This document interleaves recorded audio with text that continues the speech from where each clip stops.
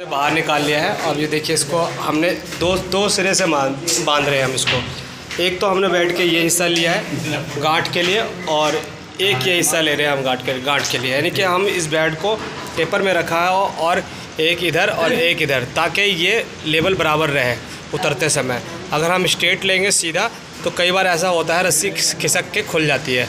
लेकिन ऐसे में रस्सी खिसकने, खुलने के चांसेस बहुत कम होते हैं। तो अभी हम इसको देखिए किस तरीके से गांठ लगा रहे हैं। ये गार्ड जो लगा रहे हैं इस तरीके से कि जितना भी खींचेंगे ये उतना ही टाइट होगा ये गार्ड। देखिए इसको। ये ये देखिए। एक बार इसको दोबारा दिखाइए खोल के।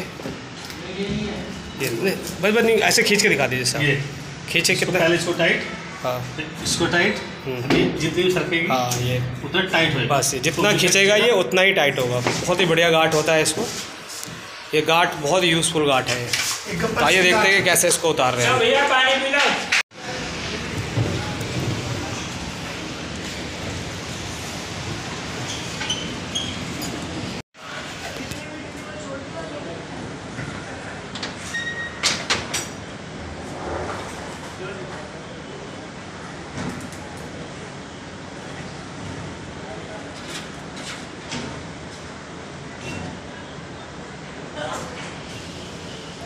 देख सकते हैं दोस्तों कितनी ऊँची हाइट पे है।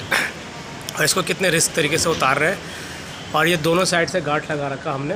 देखिए, एक साइड इस साइड से गांठ लगा रखा और एक इस साइड से गांठ लगा रखा है। ताकि ये इधर से उधर से खुले ना, दोनों साइड से। और ये देखिए, बहुत ही प्यार प्यार से इसको हम उतारने की कोशिश कर रहे हैं। तो यही तरीका होता है इसको उतारने का, बिल्कुल सेफ़ और सही। अगर आपको भी उतारना हो बालकोनी से तो आप इसी तरीके से फर्नीचर को धीरे धीरे करके उतार सकते हैं।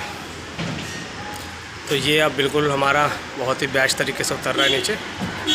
ये देखिए, ये आ गया फ्लोर पे। देखिए, नीचे उतर गया ये।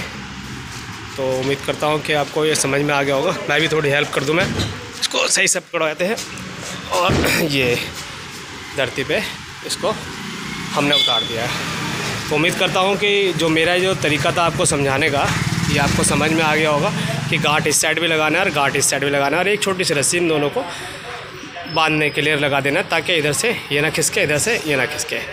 तो ये था मेरा तरीका आपको फर्नीचर उतारने का।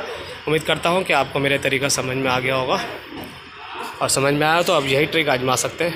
वीडियो वॉच करने के लिए बहुत बहुत धन्यवाद दोस्तों।